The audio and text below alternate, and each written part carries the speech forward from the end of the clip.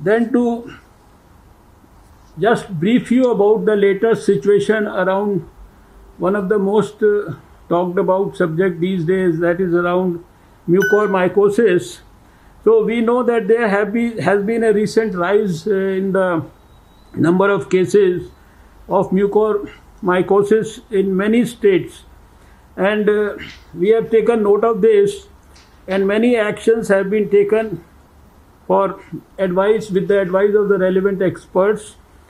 And uh, we had uh, requested the states to issue notifications to make this disease notifiable so that the central government also knows in detail the extent of the numbers and so that the strategies could be about drug availability etc could be planned accordingly. So by now 19 states have already noti- issued notifications and made it a notifiable disease under the epidemics act.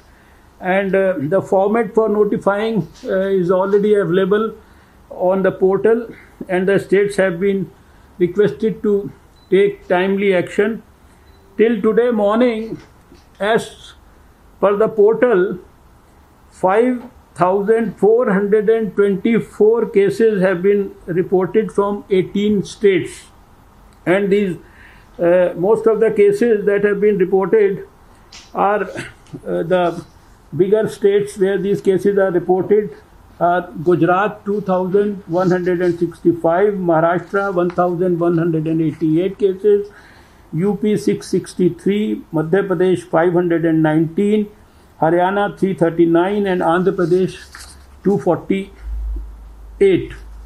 Then out of these 5424 cases of mucormycosis, we have seen that 4,556 cases have history of COVID-19 infection, while 875 cases are amongst non-COVID patients, and diabetes was present in 55% of the patients. As we have said it on number of occasions that we have been warning, forewarning, issuing advisories, and through our experts, it is being communicated that indiscriminate use of steroids must be avoided and diabetes must be treated thoroughly and meticulously uh, uh, as best as possible.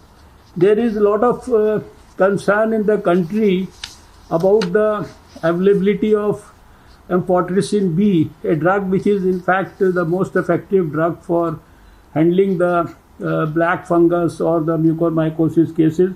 So I have to inform this group that already our relevant ministry pharmaceuticals they have already ordered 9 lakh vials for import of this drug 50000 have already been received by the country and in another 7 days from now the department expects that around 3 lakh vials uh, would be available uh, through this import mechanism